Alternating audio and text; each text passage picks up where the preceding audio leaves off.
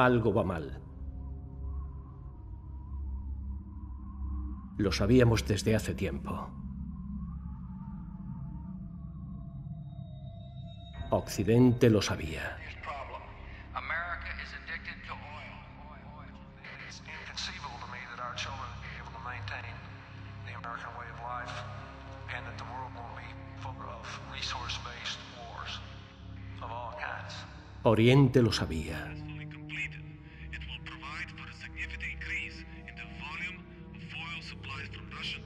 Lo sabíamos desde hace un siglo.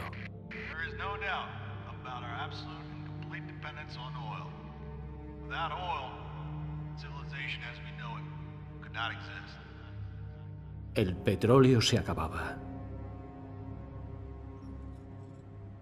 Así nos criamos. Pos Oriente Medio, pos crisis energética, pos todo. Es lo que llamaban la eterna emergencia. Empezó poco a poco, pequeños detalles, colas en las gasolineras. Aquel tórrido verano de 2008, los apagones empezaron a durar semanas. La gripe aviar se extendió en 2009. Me sacaron del colegio cuando se acabaron las vacunas. Dijeron que mejoraría, que algo nos salvaría. Carburantes biológicos, energía solar, energía nuclear limpia. La depresión llegó en 2012. África se quedó sin comida. Después, nosotros. La gente ya no intentaba solucionar los problemas, sabía que sobrevivir. Llevábamos 40 años viendo a gente morir de hambre y no parecía real. Pero al poco tiempo las imágenes de las noticias se repetían en nuestras propias calles. Lleva años sucediendo. Ahora hemos llegado al límite.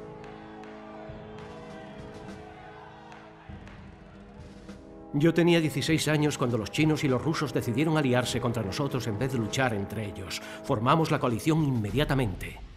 Ahora nos enfrentamos con la mirada ante los últimos pozos del Caspio. Dejé los estudios por Affiliated Press y me enviaron al extranjero. Aquí en Turkmenistán todo es más evidente, en los pueblecitos prefabricados que el boom del petróleo dejó en Asia Central. Sucederá aquí, en pueblos tan pequeños que no tienen nombre, construidos por petrolíferas en un par de semanas.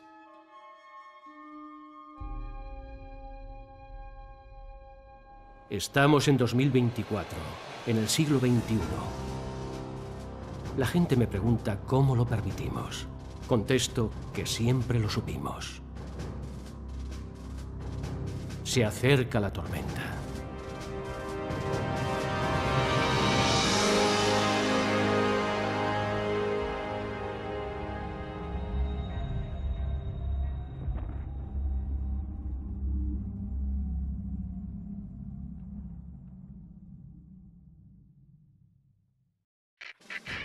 Aquí el comandante al escuadrón 21 Delta. Vais a relevar a la compañía Alfa patrullando en la refinería en temporal 113. Las tormentas de arena de la zona han cortado la comunicación por radio e interfieren con la cobertura del satélite. Cuando lleguéis, buscad una frecuencia de radio operativa y que la compañía Alfa me informe. Ah, y un respeto por el periodista que os acompaña.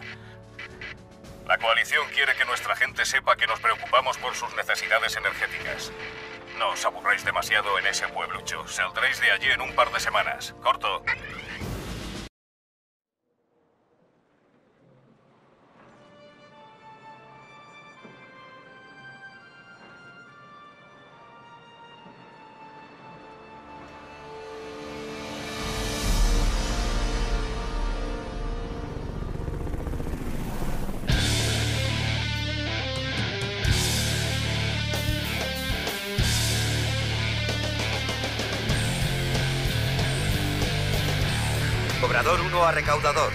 Vamos a la reserva de petróleo temporal 113 del Caspio de la coalición occidental.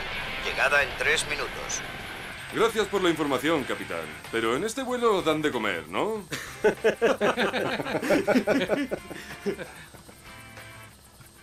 Así que os turnáis, ¿no? Ah, tú debes de ser el paparazzi local.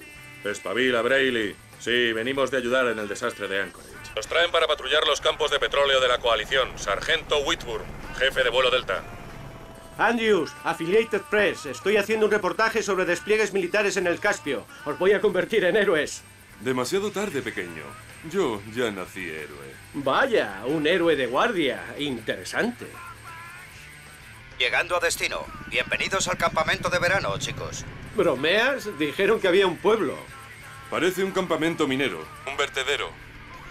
Un vertedero muy valioso entonces. La mayoría del petróleo que queda en el mundo está por aquí. ¿Es verdad, Princeton? Entonces, ¿por qué no...? ¡Ni el demonios era eso! Mayday, Mayday. Cobrador 1 bajo intenso fuego desconocido. ¡Hemos perdido el rotor trasero! ¡Han herido al! ¡Presión! ¡Baja la cabeza, Brayley! ¡Lo perdemos! ¡Capitán, sáquenos de aquí! ¡Ya! ¡Nos atacan! ¡Cuidado! ¡Cuidado con la torre! ¡Negativo! ¡Ya está! ¡Ah! Cobrador 1 descendiendo. ¡A quien me oiga! ¡A quien me oiga! ¡Oh, señor, señor! ¡Preparaos para el impacto! ¡Aterrizaje forzoso!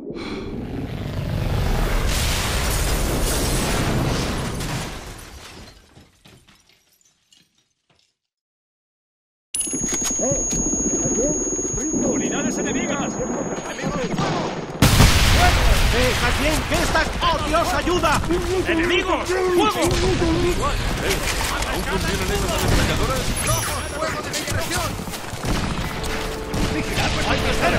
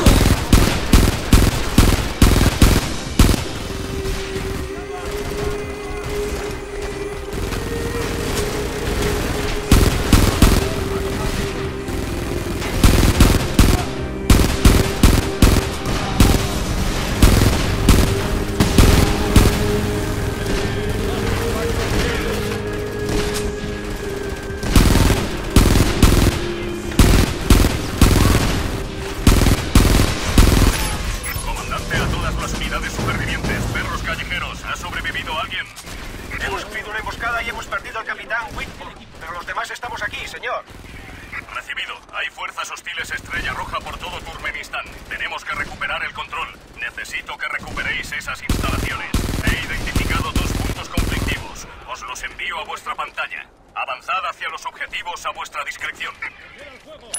Enemigos poniéndose a cubierto detrás de esa cosa. Los veo. Tienes un para que.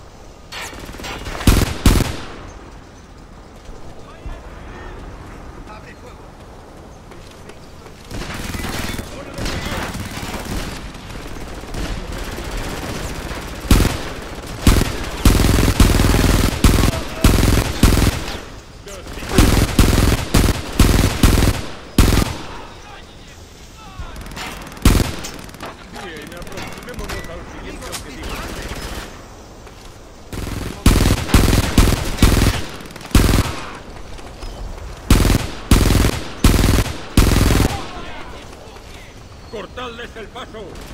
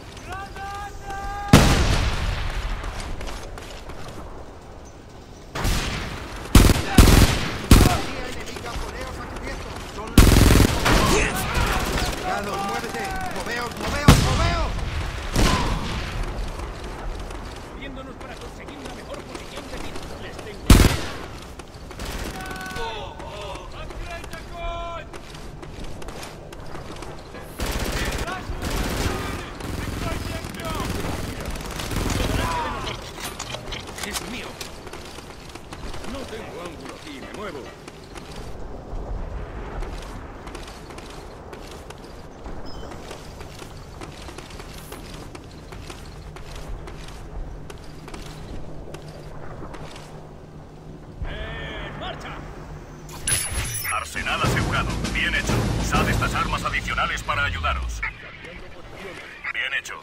Ahora disponéis de dos torres de guardia fuertemente armadas en el centro de vehículos que cubren el camino a la refinería. Os las muestro en la pantalla. Hay que derribarlas para despejar la carretera. Cuando lo hayáis conseguido, buscad vehículos blindados ligeros en el garaje.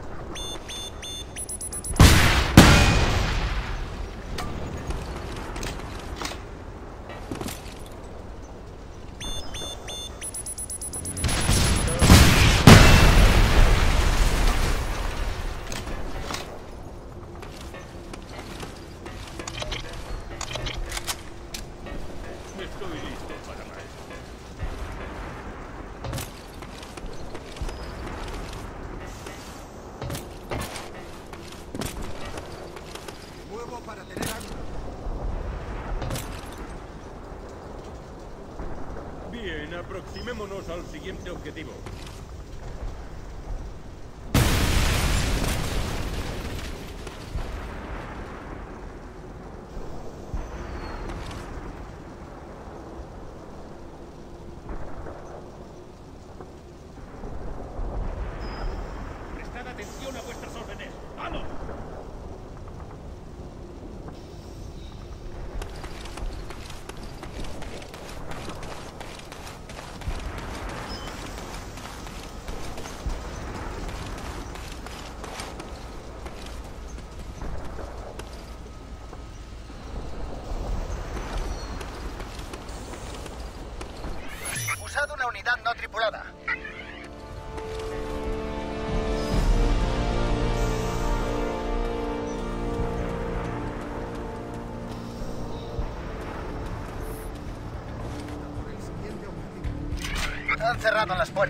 Hay que usar una unidad no tripulada en una de las torres para eliminar el terminal de control.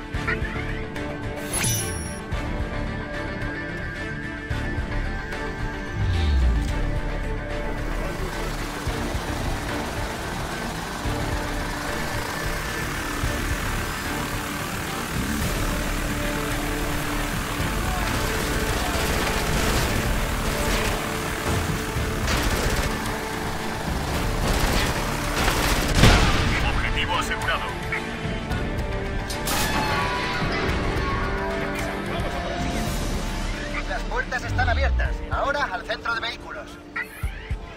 Esta zona está cubierta. Usad una unidad no tripulada de asalto.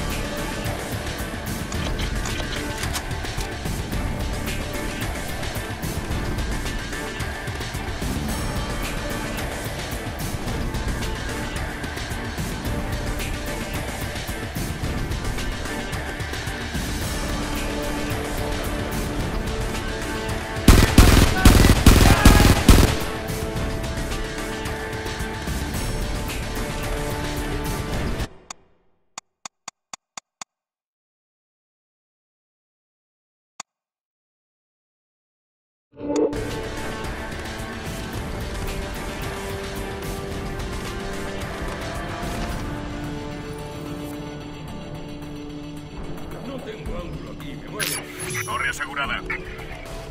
Perros callejeros, hemos detectado infantería enemiga avanzando hacia vosotros. Preparaos para defenderos.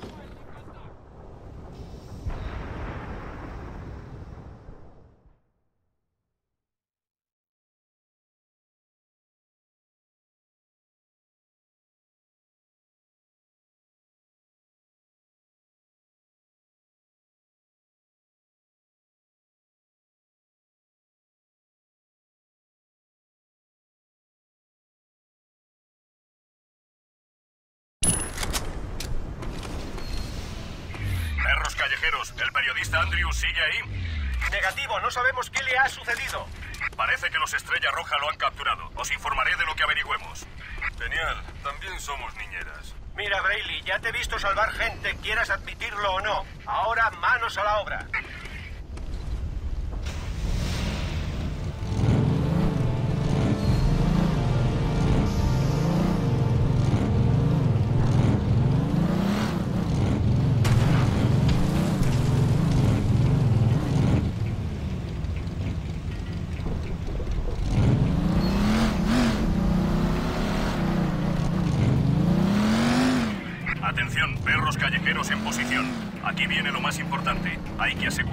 Las refinerías activas de la zona. Son imprescindibles para la coalición. Recibido, comandante. Estamos en ello.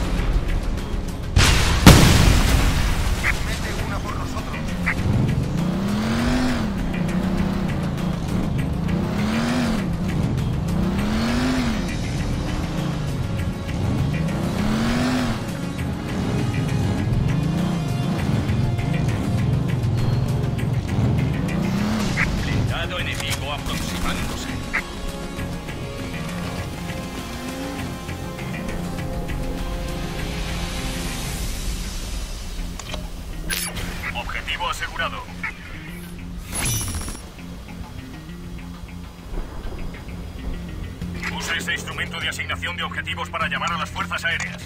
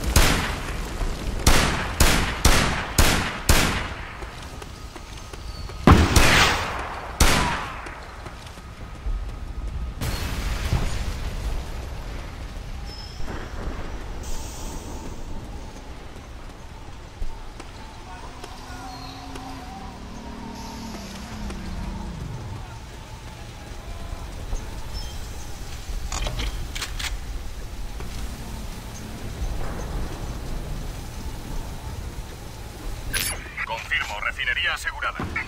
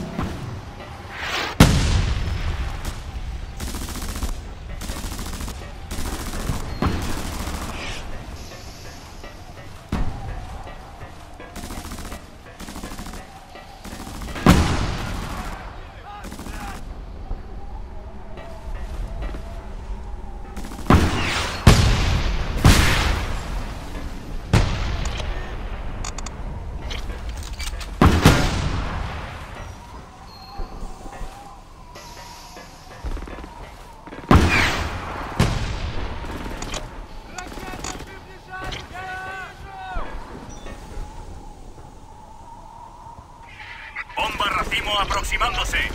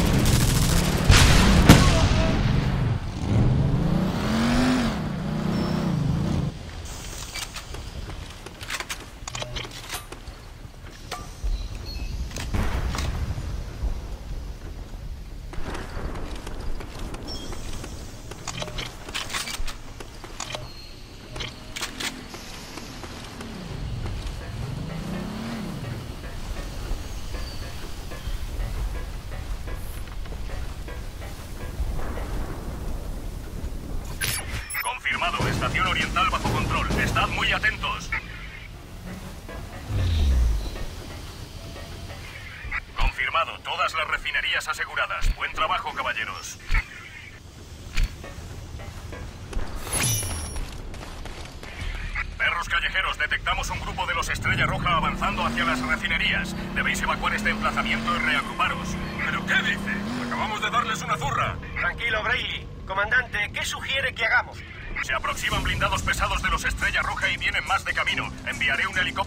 De ahí, pero antes tenéis que rescatar al periodista de AP, Andrews. El satélite muestra que lo han capturado. Está retenido en un edificio al norte de la refinería.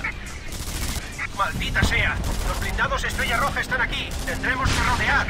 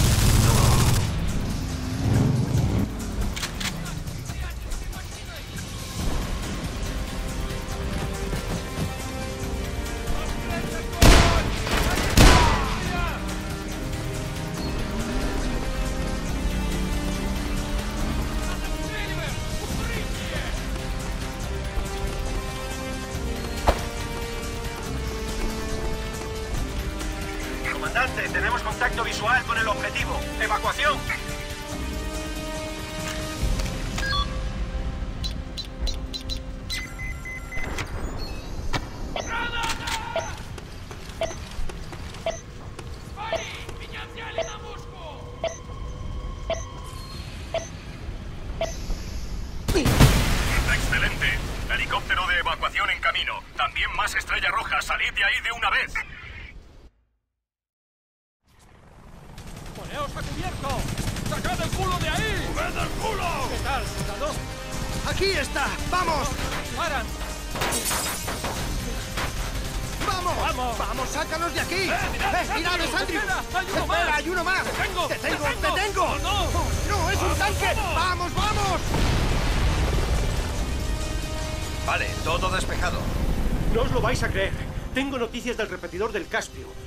Estrella Roja han invadido la frontera con Turkmenistán. ¿Qué? Se supone que hay un tratado. Imagínate.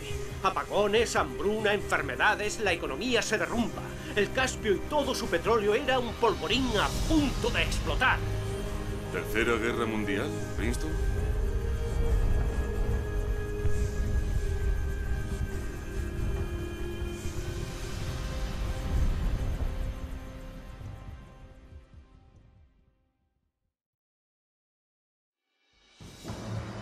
Así fue como empezó.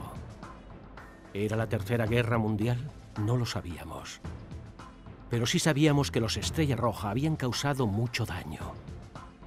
Casi todas las fuerzas de la coalición de Turkmenistán habían desaparecido. Llegado este momento, la coalición inició sus primeras ofensivas. Las tropas estaban listas, pero los Estrella Roja parecían estar por todos lados. La lucha por los recursos energéticos en el Caspio era brutal. Pero la noticia bomba es que los chinos han invadido Taiwán. Se nos iba de las manos. En cuanto a los perros callejeros, bueno, se dirigían hacia el norte. Estaban a punto de dar rienda suelta a su propia venganza. El sargento Thompson siempre se aseguró de ello.